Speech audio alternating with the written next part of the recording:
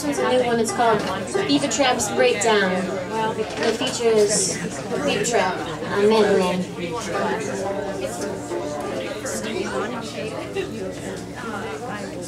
Thank